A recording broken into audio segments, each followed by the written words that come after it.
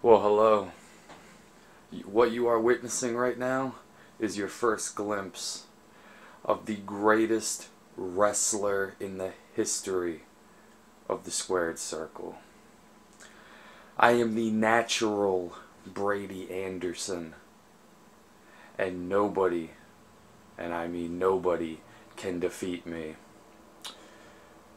I have been told that on Saturday, December 17th, at the first ever Super Slam event, I will have to work my way through two other opponents in a round robin tournament to be crowned what I already know I should be the HFW heavyweight champion of the world.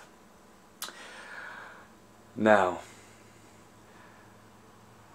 I will step into that ring on December 17th and I will lay waste to El Mysterio and to the most popular man on the planet, Zach Hahn, in such a dominating fashion that has never been seen before.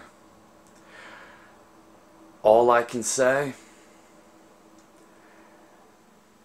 is tune in on December 17th and everyone will witness the natural ending.